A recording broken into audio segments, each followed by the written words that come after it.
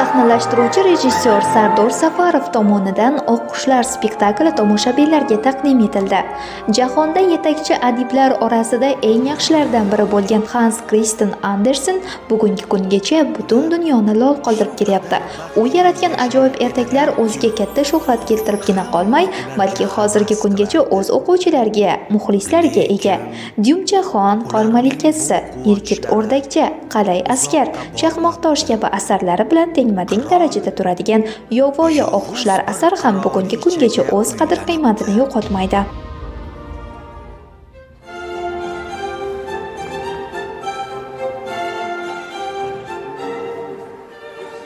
qora niyatli yovuz qirolicha ularning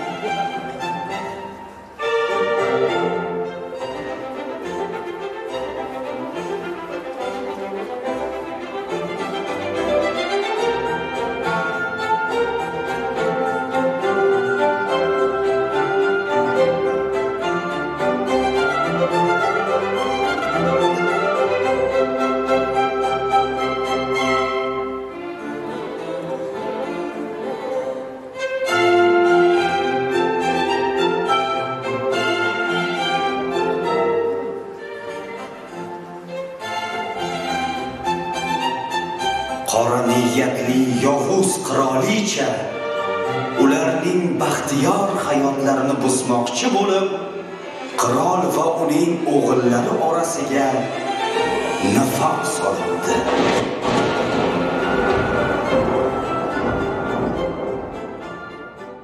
Yovuz malikaning sehri bilan 11 bitta oqqushga aylangan akalarini qutqarishga shaylangan Eleza azoblarga, xo'rliklarga, turfa xil qiyinchiliklarga duch keladi.